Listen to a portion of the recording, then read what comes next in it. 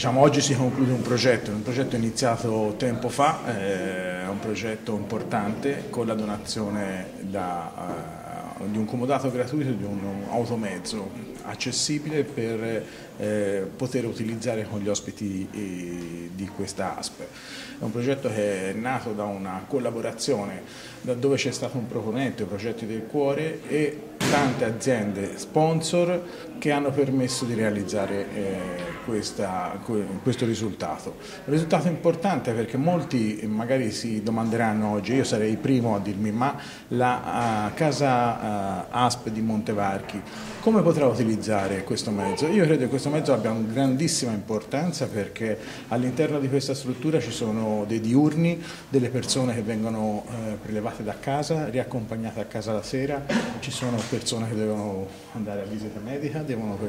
quindi sono, i, i, trasporti sono, e la logistica diventano un elemento essenziale, spesso rimasto un po' nascosto ma diventa essenziale. È una, una donazione molto molto importante, è un progetto che io ho eh, praticamente ereditato e conosciuto da poco ma che un, ha un grande valore, innanzitutto per tutti gli sponsor che hanno contribuito, ma il lavoro incommiabile della, della Progetti perché eh, appunto apporta una, un veicolo che eh, sarà un valore aggiunto per l'attività dell'ASP.